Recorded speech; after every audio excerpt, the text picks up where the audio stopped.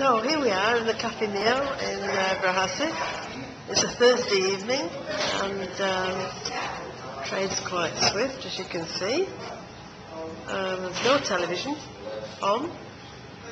I did ask but uh, the owner said he had no interest in television. And uh, David and I are just destroying a salad and a glass of beer and a glass of wine. I wouldn't say it's boring, but it makes you laugh.